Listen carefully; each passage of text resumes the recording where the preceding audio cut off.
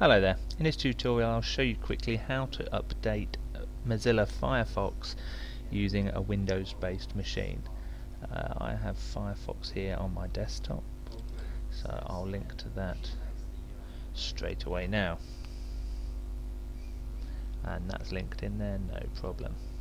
Now you can click here, Firefox and if you look through the menus here there's lots of information. If you just go to the help menu and choose about Firefox it will then automatically begin an update and it should download the update for your machine straight away.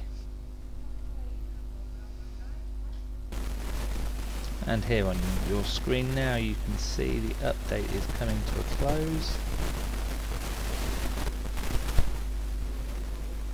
little more to go. Firefox will then apply the update itself and then you restart the browser using the restart button. That was version 23 before. It is an update to version 24 I believe at this point. Uh, it will start automatically. On most occasions you won't notice the update, but if I take you through that yourself, you'll actually see that it has gone to version 24. It's now checking for updates again, and it's telling you that Firefox is now up to date.